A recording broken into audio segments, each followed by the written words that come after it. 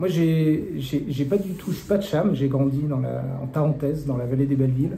Donc, je suis un enfant de station, mais je suis pas du tout un enfant d'alpiniste. Euh, je suis pas vraiment alpiniste non plus. Euh, mais j'ai passé beaucoup de temps dans mes métiers de journaliste à Chamonix, où j'ai côtoyé euh, les guides, euh, les athlètes, les pro-riders, les skieurs, les snowboarders. Et ça m'a toujours fasciné, en fait, euh, ce lieu Chamonix, euh, ce creuset avec, euh, avec cette énergie bouillonnante en permanence, dans le bien comme dans le moins bien aussi. Et en tout cas, c'est un, un lieu exceptionnel, un lieu humain avant tout exceptionnel. Voilà, aujourd'hui, j'habite à Annecy, donc pas très loin. Et aujourd'hui, j'ai plusieurs métiers. Je fais un peu de com quand même pour vivre. Je ne vis pas encore de mes livres, mais peut-être si j'écris un livre sur les chiens, mon chien. et- Un chat, pour Un changer. chat, ouais. Un chat qui fait de la montagne. Le livre qui est, qui est très bien d'ailleurs. Euh, et euh, j'enseigne aussi, je travaille beaucoup dans la prospective avec les stations de ski sur les questions de transition, de modèle économique. Donc on a des grandes discussions avec Hervé, notamment sur euh, l'avenir des stations de ski et qu'est-ce qu'on peut en faire. Euh, et puis euh, j'ai créé un, un think tank sur cette question-là qui s'appelle le Lama Project. Je fais des podcasts, des conférences. Et puis j'écris aussi euh, beaucoup. Je publie, euh, j'ai publié chez Glénat plusieurs, euh, plusieurs ouvrages, romans, histoires. Euh, on est en train d'écrire un, un polar à quatre mains pour euh, euh, Monsieur Damilano, Madame. ou Madame plutôt, ouais. Oui, tu as raison. Qui sont les deux autres mains Euh, c'est Hervé Baudot. Euh, donc, euh, c'est, c'est, pas la suite, mais un peu la suite, si on peut le dire, de Saladorus. Voilà. Qui est un polar à quatre mains avec un. un- voilà, une- une- la particularité, c'est qu'on l'écrit sous forme de cadavre exquis. Donc, c'est une aventure éditoriale avec un éditeur de Chamonix. voilà. Euh, donc, j'ai écrit aussi donc, pour Glénat, et j'ai créé Point de Côté, la, co-créé Point de Côté, la revue euh, du trail running, revue annuelle que vous pouvez trouver chez euh, Landru d'ailleurs. Euh, voilà, donc euh, l'écriture m'occupe. Euh, par contre, il y a une particularité avec ce, roman-là, c'est que bah là, j'y ai mis autre chose. J'y ai mis autre chose, j'ai mis plus de temps à l'écrire. Euh, déjà, euh, j'y ai mis euh, plus d'ambition euh, littéraire, stylistique. Euh, et en fait, c'est super important pour moi et je remercie Charlie euh, de, de l'avoir euh, accepté euh, et, Guérin. C'est super important pour moi parce que c'est le premier roman vraiment où j'y mets mets des tripes, j'y mets j'y mets de l'énergie, j'y mets du temps, j'y mets voilà. Donc c'est un livre qui pour moi est à la hauteur de ce que j'aimerais faire en littérature. Euh, et c'est le, le premier roman publié, j'en ai publié déjà 4 ou 5, mais c'est le premier roman où je me dis, ouais, là, euh, j'y suis en termes d'ambition, c'est là où je veux être. Euh, Eh ben, voilà. moi, je t'arrête. On va commencer pour écouter ta petite musique. Ah Bah, hein Et, et alors, je vais quand même juste dire un truc, c'est que Charlie, je, le- je le connais, lui, il me connaît pas, mais euh, juste vous, vous raconter que Charlie Buffet, qui était journaliste spécialisé montagne, que je lisais quand j'étais étudiant en journalisme, parce que c'est mon premier métier. Euh, j'étais étudiant à Strasbourg en journalisme, et je me souviens très bien que j'avais des articles affichés au mur dans mon euh, petit appartement d'étudiant. Et il y avait un grand article de Charlie Buffet qui était euh, la référence montagne sur Lionel Daudet et sa femme qui faisaient le tour du monde. Donc on parle de ça 96, 97. Voilà. Et donc quelques années plus tard, eh ben, je me retrouve ici avec Charlie. Donc voilà, il y a des, des petits retours de la vie et de l'histoire euh, aussi qui, qui font sens. Eh ben, on va attaquer tout de suite. Allez. À l'âge de 20 ans, il y a environ un an et demi, j'ai posé le pied dans cette vallée comme sur le rivage du Nouveau Monde, les yeux écarquillés par la taille du paysage. Je voulais lancer mon corps dans l'altitude afin d'en éprouver la résistance. Je voulais provoquer l'amour pour qu'il me frappe aussi violemment que possible. Je voulais défier le monde de me laisser une place, ou plutôt de me la rendre, car j'étais convaincue qu'elle m'appartenait, m'attendait. Ma place était celle de guide de haute montagne, et j'allais révolutionner l'alpinisme avec mon approche légère, rapide, fulgurante, engagée, radicale. Pour cela, je devais décrocher mon diplôme de guide, puis je deviendrais célèbre. Chamonix, J'y ai toujours vécu en imagination avant d'y venir. Je rêvais sur les topos et les cartes, prêt à prendre l'histoire de l'alpinisme là où on me l'avait laissé. Tirant fièrement les épaules en arrière dans la rue Ravanel-le-Rouge, lançant des tours de corps dans l'avenir, aspiré vers le haut, car de mon point de vue, même les lois de la gravité étaient fallacieuses et j'allais les remettre en question. Je brûlais d'envie de montrer que je pouvais aller plus loin que les autres, plus vite, mieux que j'avais le talent. Mettre mon corps à rude épreuve, c'est ainsi que je me sens vivre. Pas une journée sans un peu de sang, de peau déchirée, sans un pari extatique sur la chance. Un jeune ambitieux, plein de talent, mais plein aussi de violence, de vulgarité et d'exquise délicatesse, écrit Jean Genet. Ça pourrait être moi. Donc ça, c'est Alex? Ça, c'est Alex, le personnage masculin. Et ça se passe. Alors, donc, Alex, l'histoire commence en 1999 L'histoire commence en 1999. Alex, le personnage masculin, euh, Saskia étant le personnage féminin, et évidemment, c'est mm. une histoire d'amour entre les deux. Alex euh, vient euh, de Bourgogne et il veut devenir guide de haute montagne. Donc, il débarque à Cham à 20 ans avec, avec un peu de testostérone. Et, puis, et puis, avec cette, cette, cette énergie-là, euh, c'est pas du tout ma vie, moi. Je, au-delà du, du CISA, j'ai peur, donc euh, c'est pas du tout ma vie. Mais c'est ce que j'ai senti euh, chez les, athlètes et, les, alpinistes. C'est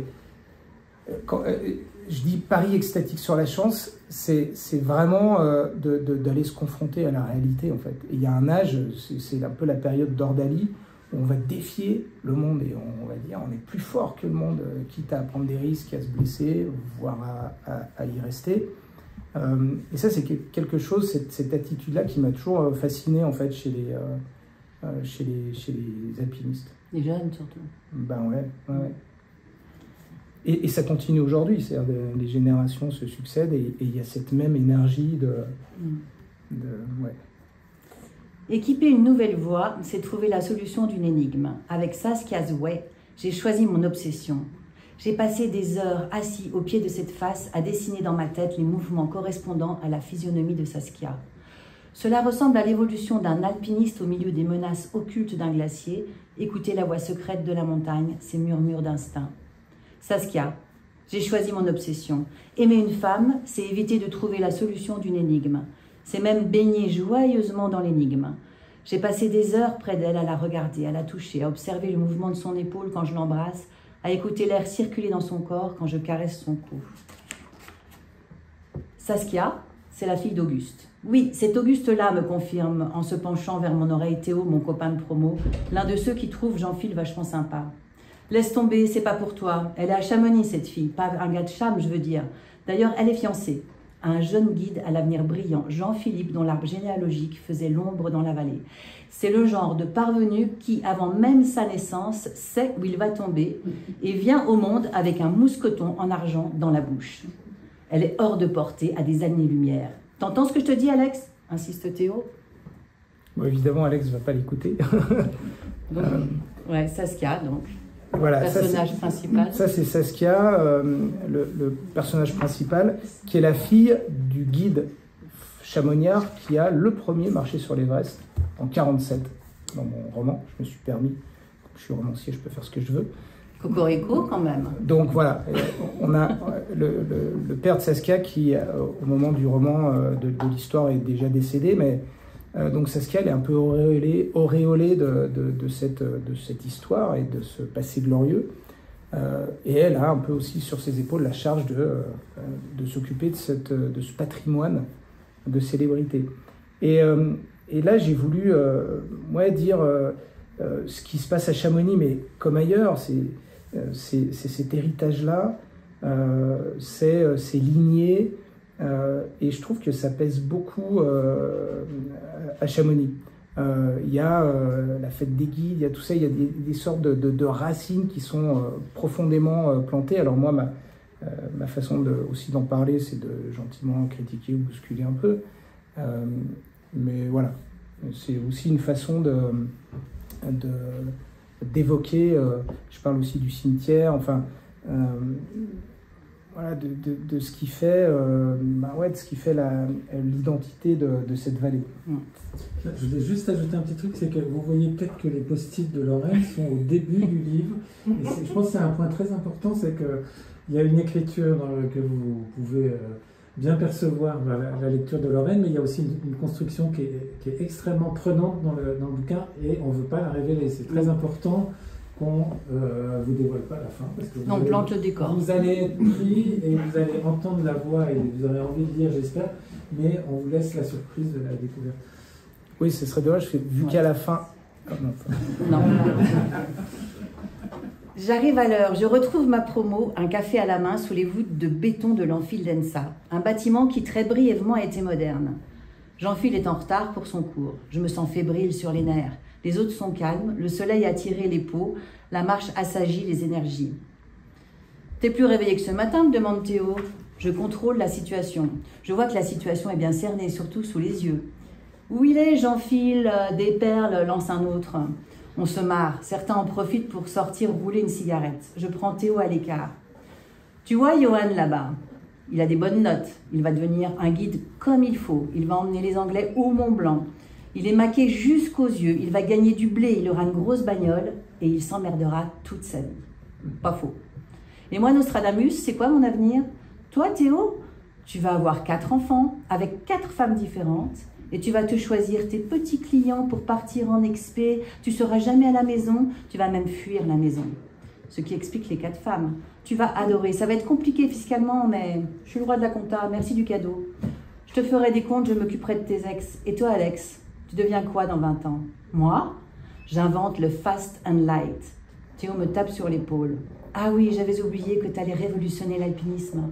Tu vas vite, tu vas juste, tu perds pas de temps, tu es minimaliste, ça va tout changer. On ira là-haut avec un t-shirt qui protège du froid, du vent, de la pluie. Ok, ok, il faudrait que tu passes ton guide. Et vu ce que tu bosses, c'est pas gagné. Je vais tout déchirer à l'examen, t'inquiète. Si tu me laisses la possibilité d'échouer, tu échoues. Mais je vais réussir. Pour toi, tout est simple, remarque, tu n'as peut-être pas tort de voir les choses comme ça. Ce qui est sûr, c'est que je ne serai jamais un guide comme les autres, avec le petit chalet sur le petit terrain de grand-mère et la tondeuse le dimanche, ou pire, prof à l'ENSA. Je vais bouleverser l'alpinisme, il y a matière à révolution. Je déteste les tondeuses. T'attaques un peu l'institution là quand même, hein bah, Non, bah, je trouve pas en fait. J'ai mon pote Yann Bornier qui est passé tout à l'heure, qui est prof à l'ENSAT, non, c'est ça euh? Non, non, j'ai pas l'impression d'attaquer l'institution. Je m'en moque euh, gentiment. En fait, là, ce, dont je parle, c'est aussi euh, cette période de la vie dont je me souviens où on n'a pas envie d'être comme les autres. On se dit, on va être différent. Moi, ma vie, elle sera différente. je vais pas faire comme les autres. Et puis, on se rend compte au bout d'un moment que, bah, des fois, on est un peu obligé de faire comme les autres.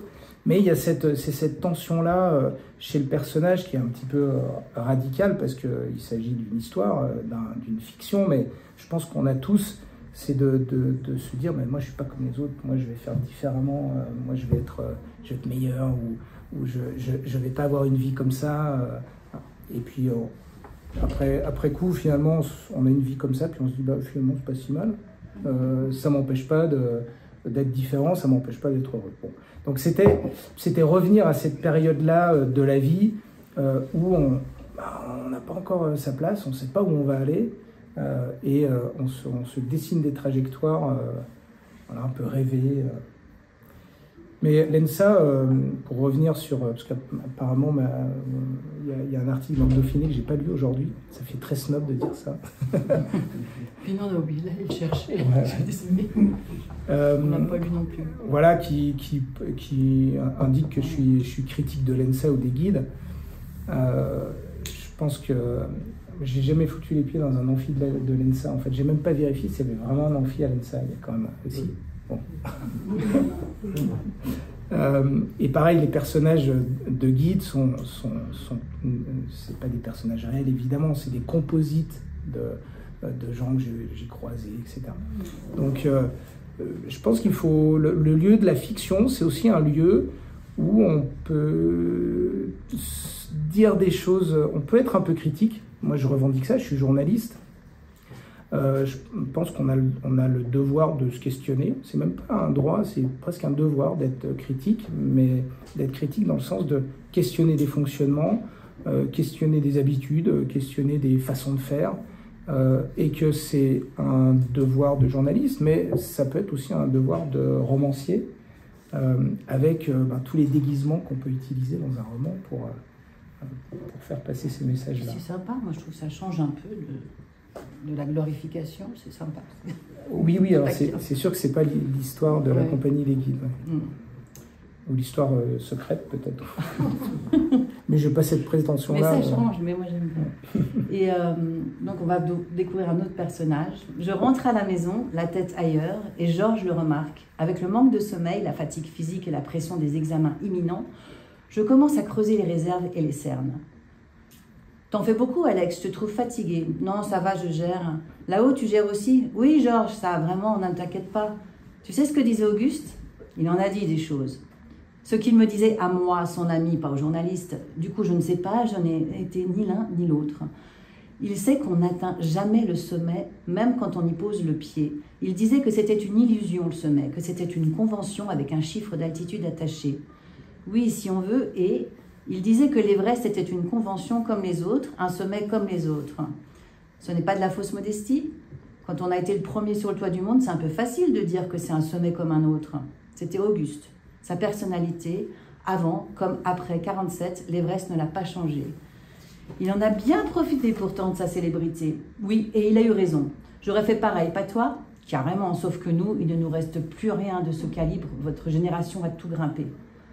Ce n'est pas une critique et Georges ne le prend pas ainsi. Auguste n'était pas dupe, il a regardé d'un œil amusé, ce cirque autour de lui. Un cirque, c'est bien ça. Et c'est pas fini, il paraît qu'ils veulent construire un musée. Un musée? J'en ai pas entendu parler. Ah, ça, c'est dans la suite de l'histoire. Euh, là, ce, personnage de Georges qui est le, logeur en fait d'Alex. Alex a une chambre chez ce vieux guide.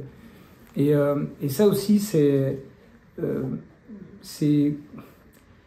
Moi, j'ai toujours été euh, ouais, assez fasciné par, euh, par les anciens, par leur trajectoire. Et quand on est jeune et qu'on a 20 ans, on, les regarde et, et, on compare. On se dit est-ce que j'aimerais avoir une trajectoire comme ça? Et donc, il y a, y a, ce jeu entre Georges qui est. qui doit avoir plus de. Ouais, il doit pas être loin de 80 ans.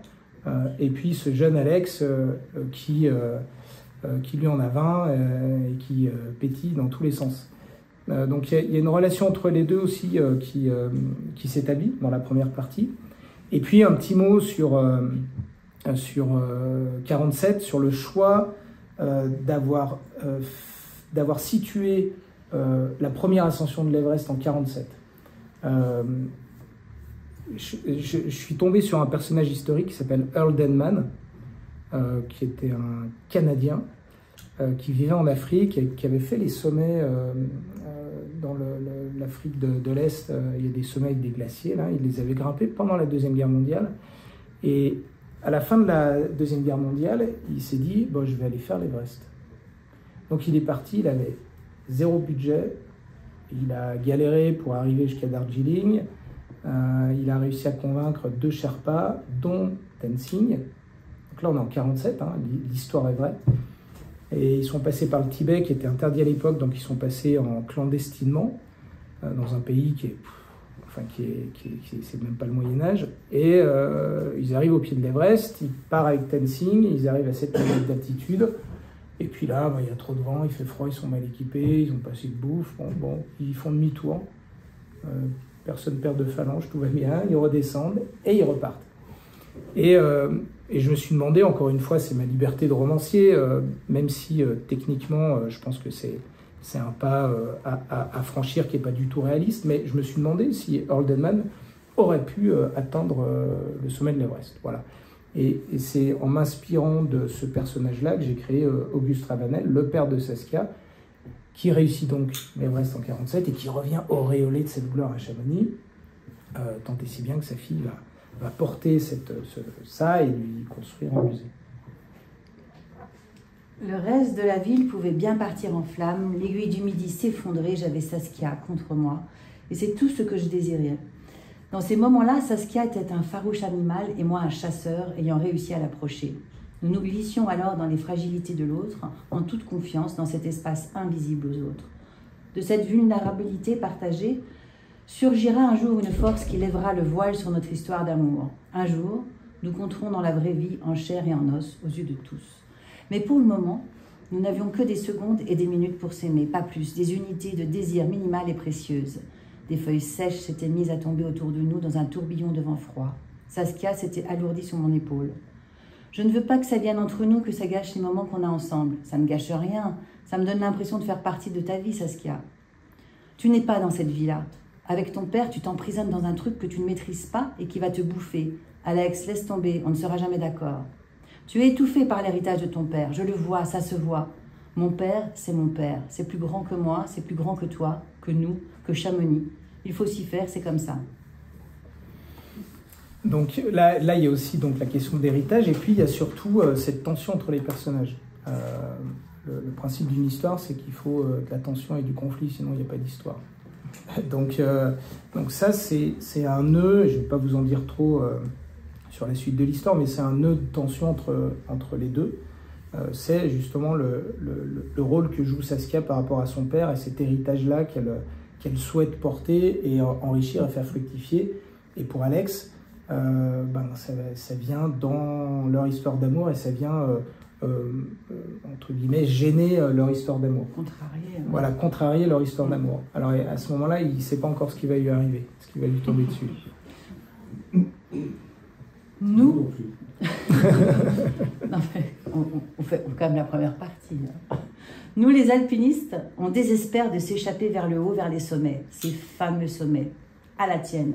Il cogne son verre contre le mien, écrase sa cigarette dans un cendrier en forme de main de femme.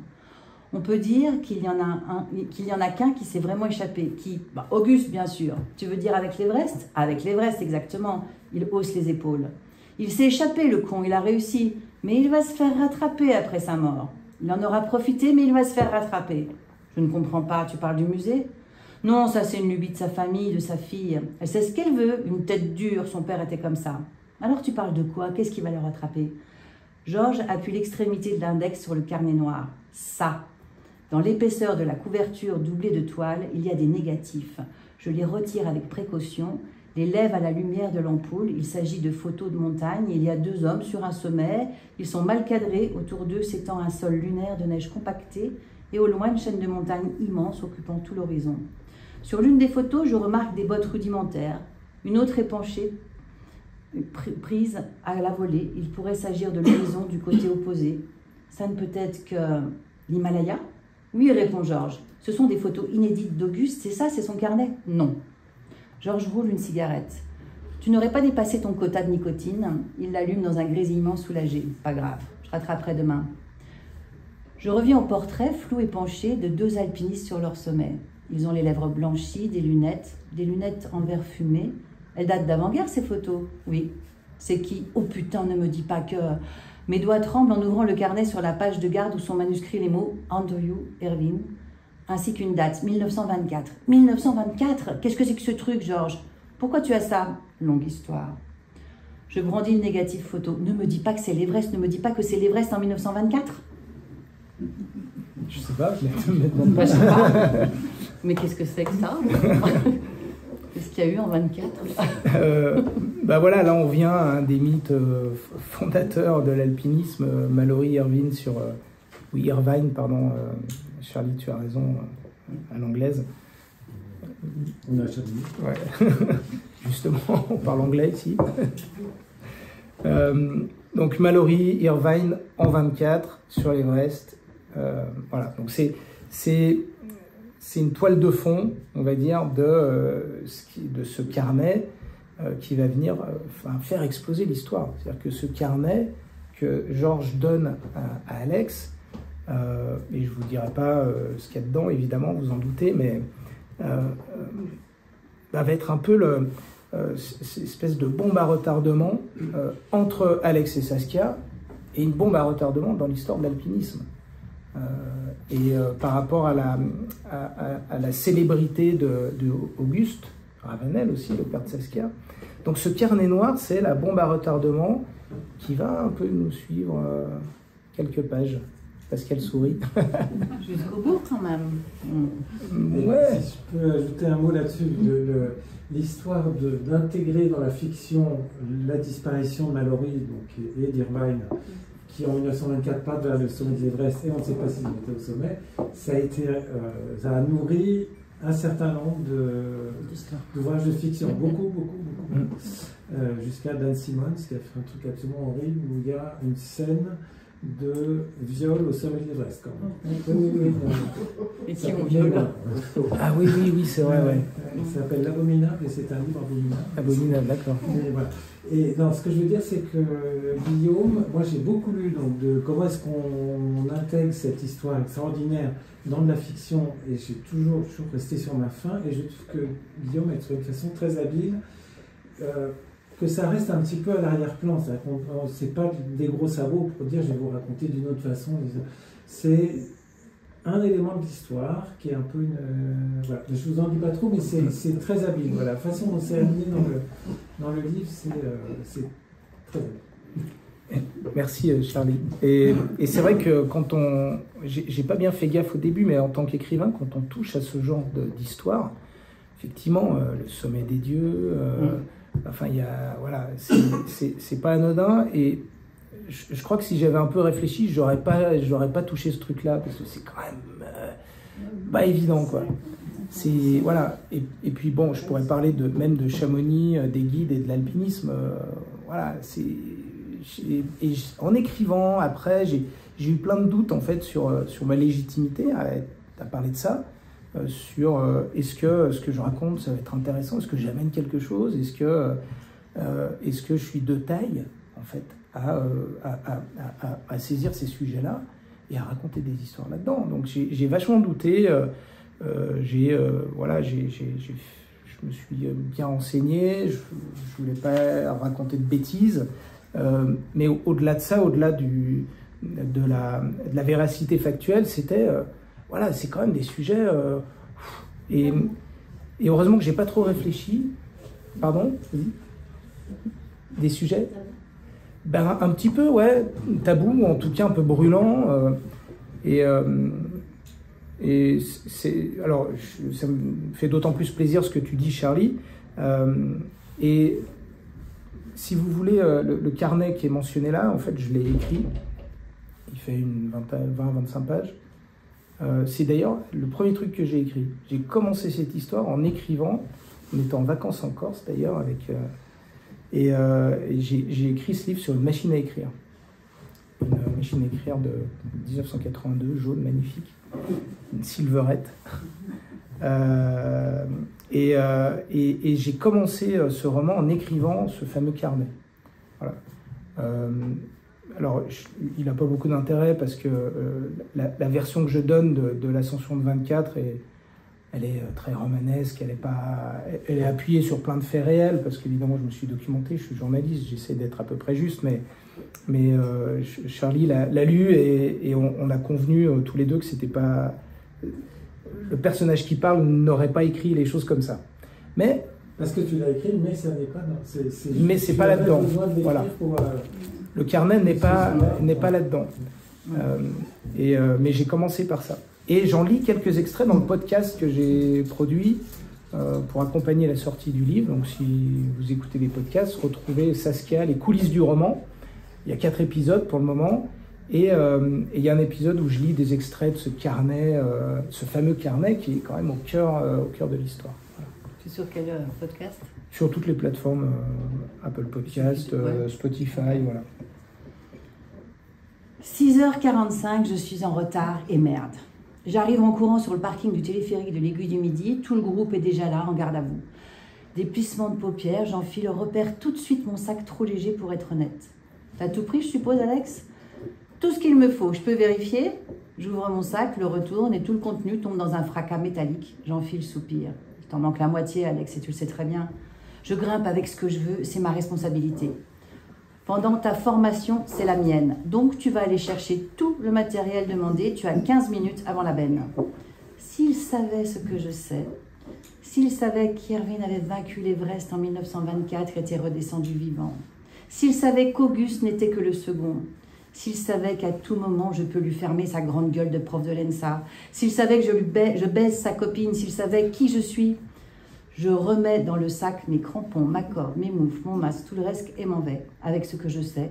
Je ne peux plus supporter cette mascarade trop longtemps. Théo me rattrape, me prend l'épaule, me force à m'arrêter. Alex, déconne pas, il va être furax, tu vas te faire virer, t'es con. J'en ai marre d'être pris pour un gamin, je sais ce que je fais. On est tous pareils, on a tous envie d'aller grimper plutôt que d'écouter Jean-Phil nous explique le mouflage, mais c'est comme ça. J'ai juste envie que cette tête de nœud me respecte. Il fait son boulot, s'il savait. C'est-à-dire, s'il savait quoi? Rien. Qu'est-ce que tu racontes, Alex? T'es explosé, t'as les yeux rouges, t'as dormi cette nuit? Laisse tomber, je supporte plus ces conneries, ces mensonges. Mais quel mensonge? De quoi tu parles? Je repousse Théo doucement et m'éloigne, je suis à bout de souffle alors que je marche. Alex, je ne me retourne pas. Théo abandonne. Je les entends parler dans mon dos. Alex ne donne pas trop d'importance à tout cela. J'achète deux pains au raisin à la boulangerie et les avale sans réfléchir, toujours essoufflé. J'ai eu raison. Je devais montrer qui j'étais. Jean-Phil a besoin qu'on lui tienne tête, qu'on le remette à sa place, et j'ai mieux à faire. Il faut que je parle à Saskia absolument. La montagne et les petits hommes comme Jean-Phil, il faut les regarder dans les yeux pendant des heures, des jours, des années. Il faut leur tenir la barbichette, le premier de nous deux qui rira aura perdu, et là, c'est moi qui ris, et c'est moi qui gagne, blaireau. Donc il a, il a un peu le melon quand même, euh, Alex, hein, clairement. Euh, Pas moi, il me fait rire. ouais, il a un peu le melon, mais, mais voilà, c'est aussi une façon de, de raconter cette, cette, cette, cette période d'adolescence euh, euh, conflictuelle. voilà, c'était dans, dans ces scènes-là, c'était Il une a 20 façon ans de- toujours, là. Il a toujours 20 ans, ouais, ouais. Et puis euh, Saskia, elle est euh, officiellement, elle est fiancée avec euh, le prof de l'ENSAD, c'est-à-dire le prof d'Alex, Jean-Phil. Jean-Phil, voilà. Moi, je me suis permis un calembour un peu foireux dans le bouquin. Voilà, c'est Jean-Philippe et c'est Jean-Phil, donc il y a plein de jeux de mots sur Jean-Phil Jean-Phil. des perles, ouais, je l'ai lu. Voilà, voilà. Bon. Euh, mais euh, et, et au final, il est pas, il est pas méchant ce personnage, mais euh, mais euh, c'est, en, en fait euh, dans, dans les dynamiques de personnages, il, il faut, il faut, il faut créer euh, des, des, des couples qui avec avec avec de l'énergie qui circule. Donc si les personnages sont similaires, ça ça marche pas, c'est pas très intéressant. Euh, donc dans la vie, on est rarement aussi euh, euh, extrême que ça, mais dans des histoires, dans des scénarios ou dans des romans, il faut radicaliser un petit peu les enjeux, les, les relations et puis les énergies qui circulent entre les personnages. Et Jean-Phil, c'est l'inverse d'Alex en fait, c'est son miroir, c'est-à-dire euh, c'est l'enfant de Chamonix qui est fiancé avec Saskia, qui est prof à l'ENSA, qui est sympa, hein, il, il fait de mal à personne, euh, il fait bien son boulot. Et- sauf que Alex, lui, euh, il, veut, il veut tout croquer, quoi. Donc, euh, Il est pressé en plus. il est pressé euh, et, et il n'est pas, il est pas à sa place. Il est clairement pas à sa place. Il- voilà. Mm. Et donc voilà, c'est aussi un, un autre nœud de tension, c'est le fait que Alex et Saskia sont secrètement ensemble. Euh, voilà.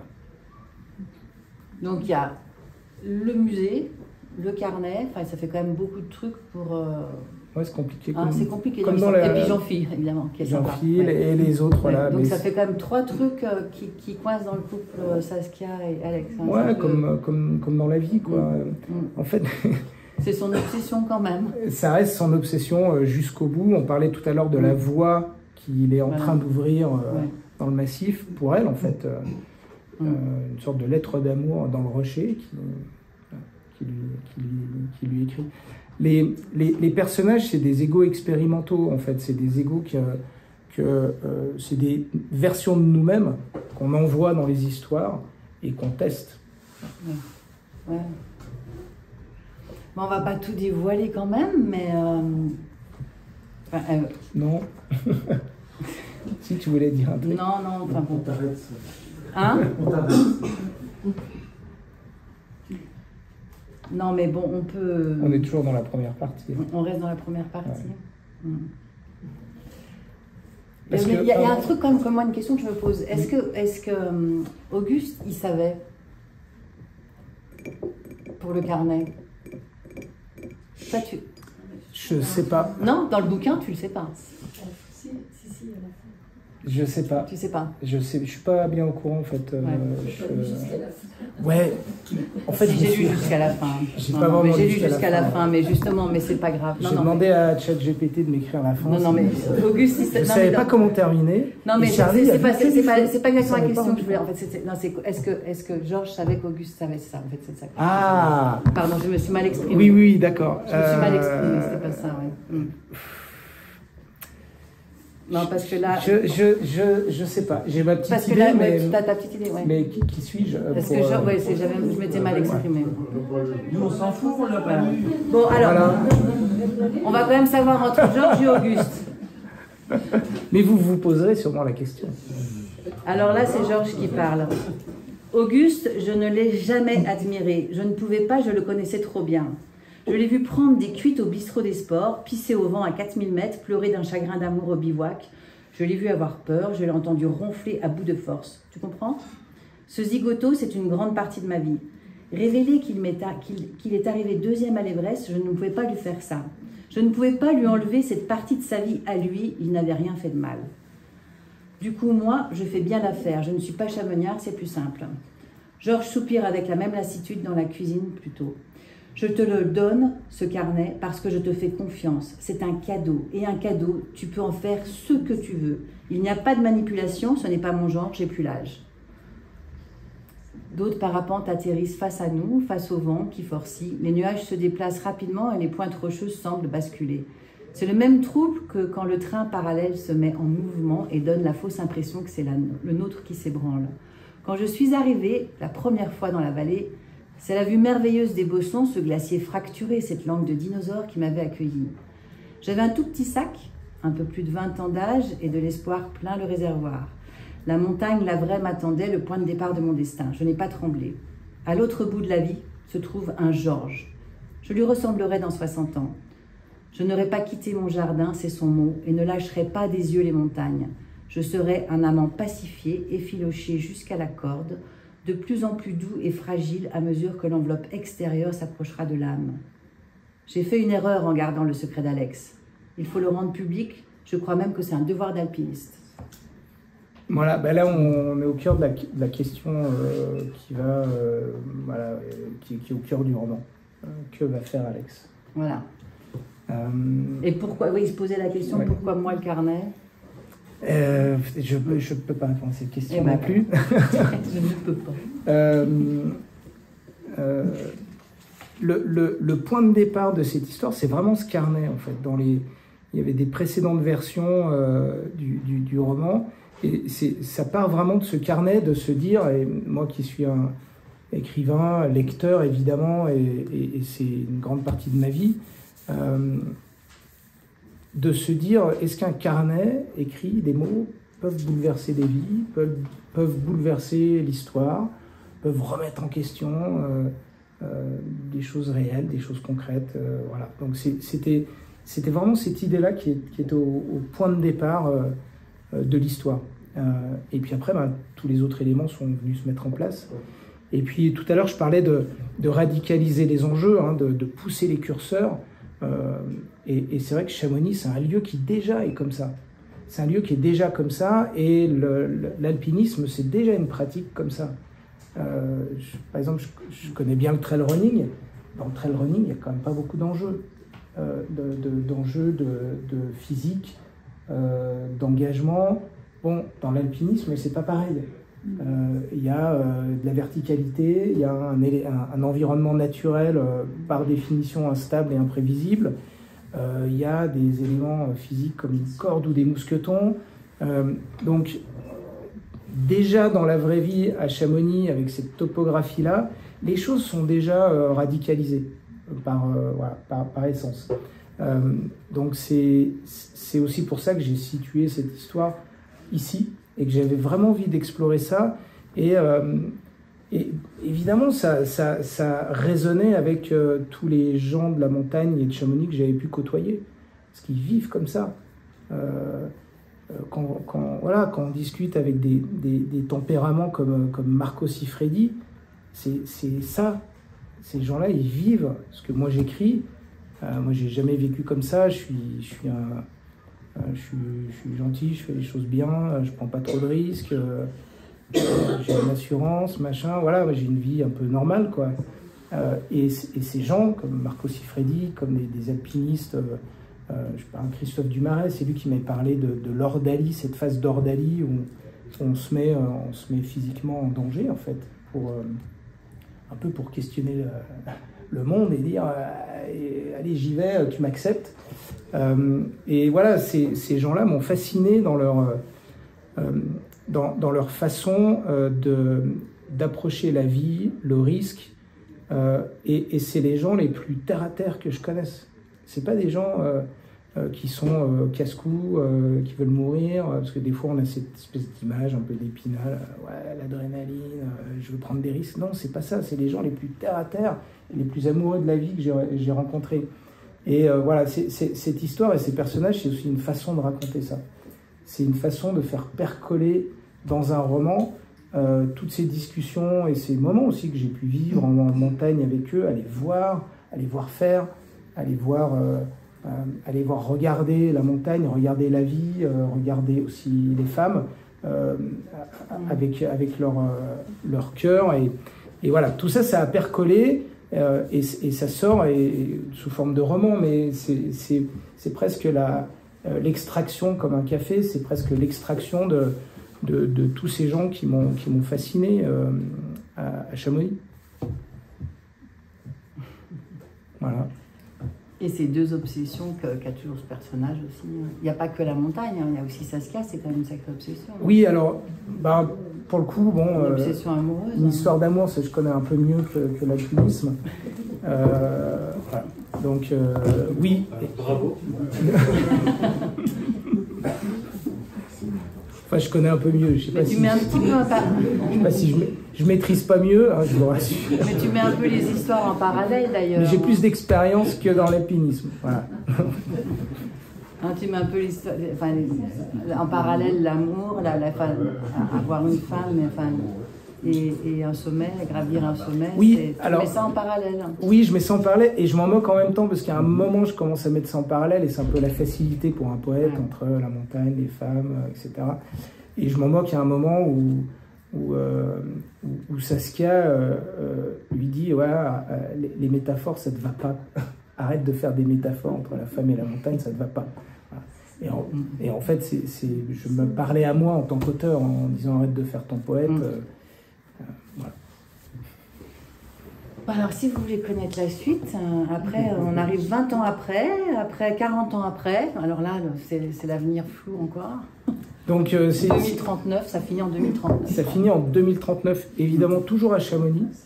On n'est ouais. quasiment pas en montagne d'ailleurs, hein. ouais. ça se termine en montagne, mais sinon quasiment toute l'histoire se passe à Chamonix. Et ça, c'était aussi un choix de ma part de me dire, et tiens, si je racontais une histoire qui se passe à Chamonix, mais en ville, au fond de la vallée, et on regarde les montagnes, on revient des montagnes, on, on est sur le point d'y aller, mais on est dans la ville.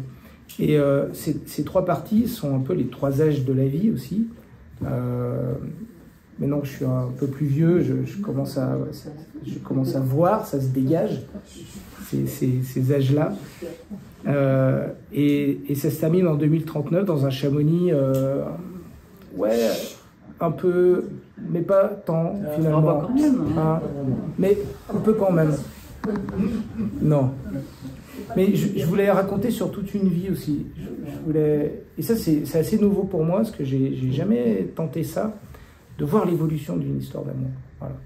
Euh, et, et, et d'être capable de tenir. Euh, bon, là, il se passe 40 ans ben, 99, 2039, il se passe 40 ans. Ouais, voilà. Et pourtant, elle lui dit Tu n'auras jamais ta place ici. Elle lui a dit, en parlant de Chamonix, hein, ça se calme. Oui. Mmh. Oui, parce qu'à un moment, elle ouais. était un peu énervée, donc elle, ouais. elle, lui dit ça, et puis elle a raison. Mmh. En fait, Alex, il va jamais. Mais il va rester, il va s'accrocher. Il va s'accrocher, euh, et. Ouais, je voudrais pas trop en dire, mais. Mais voilà. Mais on reste à Chamonix. Voilà. Ça, ça, ça vous a donné envie, j'espère.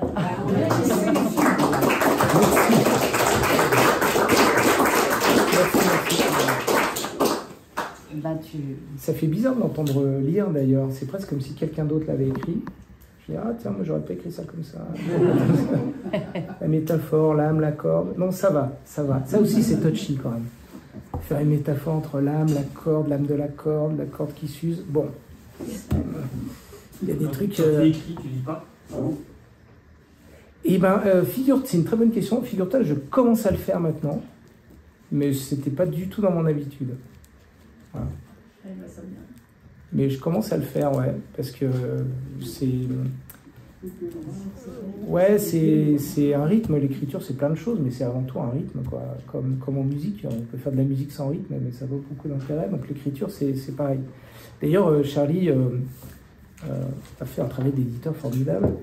Euh, Et t'a- T'appelles Lorraine hein, quand tu termines pour faire lire maintenant. Tu l'as entendu, donc euh, maintenant quand t'as. quand Oui, oui, je lui envoie les, des, des- des morceaux, puis j'écoute Ah, euh, ta lecture.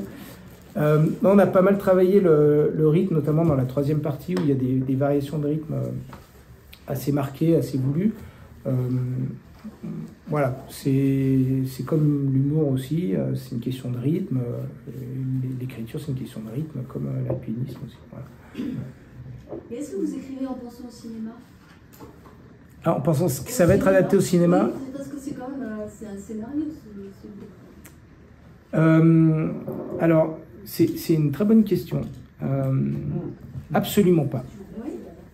Absolument pas. Même si parallèlement j'écris des scénarios, euh, mais je pense pas du tout au cinéma. C'est parce que c'est c'est pas du tout le même travail en fait. C'est pas du tout la même chose. Euh, ça, je pourrais en tirer un scénario de, de film, mais hein, c'est pas du tout la même. Les, les textes n'ont pas du tout la même valeur. Euh, ça, c'est lu par des lecteurs. Un scénario de film, il n'est pas lu par des lecteurs. C'est un, document de travail en commun avec un producteur, un réalisateur, etc. Bon. Non, mais comme on est tellement d'images, etc., est-ce que ça influe sur l'écriture? Par contre, sur, alors, sur, sur les images et sur euh, me projeter dans un film, pas du tout. C'est pas comme ça que je fonctionne. Moi, j'essaie plutôt de, de partir des mots, en fait, et des, sensations. Cela dit, euh, la structure du roman est calquée euh, sur, sur des structures de scénario. En fait, il y a une structure un peu archétypale de scénario en trois ou cinq actes. hein. Shakespeare faisait cinq actes, aujourd'hui c'est plutôt en trois actes, mais ça revient à peu près au même. Il y a les mêmes euh, tempos, il y a les mêmes euh, moments forts. Et j'ai beaucoup travaillé et ça m'a fait progresser en écriture. J'ai appris à écrire des romans en apprenant à écrire des scénarios. Euh, c'est hyper rigoureux. Il y a euh, donc un- un- une, structure, archétypale de, de scénario. Euh, tous les films que vous voyez au cinéma, tous, sans exception, je vous défie de m'en trouver un, sauf peut-être un film de Charlie Kaufman, voilà, mais je vous défie de me trouver des, films qui ne sont pas construits sur ce, modèle-là. Tous. Et donc j'ai énormément appris. Je vous parlais des enjeux, je vous parlais des, des conflits. euh, voilà, il y a trois parties, c'est un peu trois actes aussi. Euh, donc en réalité, je me suis beaucoup inspiré de la structure des scénarios de films, euh, qui sont des super modèles, vraiment. Et puis des techniques pour créer tous les personnages. J'ai retrouvé un peu des notes. c'est les techniques d'écriture de scénario. Euh, créer, créer des, des, des, des, euh, des galaxies de personnages et de, créer les liens entre eux, les conflits, ce qui les rapproche, un enjeu central dans tous les films, y compris là, vous avez un enjeu central, une question centrale à laquelle tous les personnages se rattachent. Les héros, mais aussi les antagonistes et aussi les personnages secondaires. Ils sont tous reliés à cette question, à ce thème central. Et ils ont chacun une façon de répondre, de résoudre, de réagir au thème central différente. Voilà. Bah, ça, par exemple, c'est quelques exemples de, de techniques d'écriture de scénario que j'ai utilisées là. Il y a beaucoup de dialogues aussi. Alors, euh, beaucoup de dialogues qui, qui- Alors, pendant longtemps, j'ai cru que j'étais incapable d'écrire des dialogues, vraiment. Mm. Euh, euh, dans, dans- dans mes premiers romans, il n'y avait pas du tout de dialogue. Euh, et, et voilà, Euh, le dialogue, c'est une façon de faire passer euh, au cinéma, il n'y a pas de description, on ne peut pas faire de description, donc tout doit passer par le dialogue. Donc, euh, apprendre à écrire des scénarios de films, c'est aussi apprendre à faire passer les émotions, l'évolution des personnages, les enjeux des scènes, les conflits à travers le dialogue. et, et ça, c'est une, approche de l'histoire qui est très particulière. Et, et au cinéma, vous êtes obligé. Ou alors vous mettez une voix off qui raconte tout. Et c'est assez vite euh, lourd. Euh, donc tout le talent d'un scénariste, c'est d'arriver à faire passer euh, tout, ce- qu'il a besoin de raconter, de faire avancer, de, de- définir ses personnages. Il y a des films, vous en avez sûrement en tête, où en quatre lignes de dialogue, vous avez compris qui étaient les personnages, qu'est-ce qu'ils voulaient et quelle était la relation entre eux. En quatre lignes de dialogue. Voilà. Donc c'est aussi de cette expérience-là. Les dialogues, ils sont écrits pas pour faire joli, pas pour euh, mettre des calembours foireux, euh, mais ils sont avant tout écrits pour euh, éclairer les personnages, et éclairer leurs enjeux, éclairer la façon dont ils évoluent. Le dialogue avec Saskia, c'est c'est quoi la tension entre les deux? Ben, Moi, en tant que romancier, je ne vais pas dire alors ils sont pas d'accord sur ça. Je ne vais pas faire le- un narrateur. Je vais le mettre dans un dialogue. Voilà. Donc en fait, votre question, elle est intéressante parce que je pense pas du tout à l'image film. Par contre, c'est La structure, euh, euh, et, et on va dire la dynamique. La construction et la dynamique, elle est carrément héritée du cinéma. Non, c'est pour ça que je me demandais si vous aviez déjà la fin avant d'écrire au début, si vous aviez ce scénario dès le départ. Parce que souvent les, les écrivains euh, se laissent aller au fil de la plume, mais justement c'est l'écriture qui fait le, qui fait le récit. Alors, c'est exactement ce que je fais. En fait, c'est ce qui se passe, et notamment pour ce bouquin-là. Alors, chacun a ses méthodes, mais euh, euh, la mienne, c'est, d'écrire une première version très vite, euh, avec plein d'incohérences, parfois des personnages qui disparaîtront. mais j'écris très vite une première version qui peut faire 100, 120 pages. Voilà. Et une fois que j'ai cette première version, j'ai ma matière première. Dans cette première version, je vais en jeter les deux tiers. Donc j'accepte, et ça c'était un, grand pas euh, dans mon travail d'écrivain, c'est d'accepter que la première version, elle est nulle. Voilà. Il faut, faut l'accepter. Sauf que c'est l'échafaudage qui va me permettre de construire le truc. Donc la première version, et là je la relis, et je vois ce qui marche bien, je vois ce qui m'intéresse, je vois ce qui résonne avec ce que j'ai envie de raconter. Il y a toujours une émotion, un sentiment, ou des émotions que j'ai envie de mettre dans cette histoire-là, et qui me guident. Euh, et euh, que souvent j'incarne dans des objets un peu totems qui me rappellent quand j'écris, euh, tiens, voilà, c'est- là, où je- là où je veux aller. Et ce premier draft, je le réécris totalement. J'en jette les deux tiers en général. Et puis, au fur et à mesure des réécritures, là, ça commence à apparaître. Ok, j'ai commencé comme ça, je vais finir comme ça. Et là, je commence à travailler la structure. Seulement à ce moment-là. C'est-à-dire que la structure, je la vois apparaître de façon organique et après, je la travaille. Après, je mets les coups de, les coups de vis pour, pour que ça marche bien. Tiens, là, il manque un élément déclencheur. Bah, l'élément déclencheur, c'est le carnet. Voilà. Ça, c'est un, truc de cinéma, l'élément déclencheur. Dans un film de 90 minutes, l'élément déclencheur, regardez avec un chrono, faites l'expérience, il arrive entre la 12e et la 15e minute dans un film. Paf. Voilà. Et l'élément déclencheur, je sais pas, c'est euh, Seigneur des Anneaux. Voilà. 12e minute, 15e minute, paf, l'élément déclencheur, il faut que tu ailles porter cet anneau euh, dans le Mordor. Et l'élément déclencheur, il force les personnages, et euh, ceux, ceux qui ont lu le livre, euh, Pascal par exemple, ou les deux Pascal d'ailleurs, euh, qui ont lu le livre, euh, vous voyez ce que je veux dire? L'élément déclencheur, il force le ou les personnages principaux à partir à l'aventure, partir dans leur quête, et les force à sortir de leur monde. Mm. Les dix premières minutes d'un film posent le monde.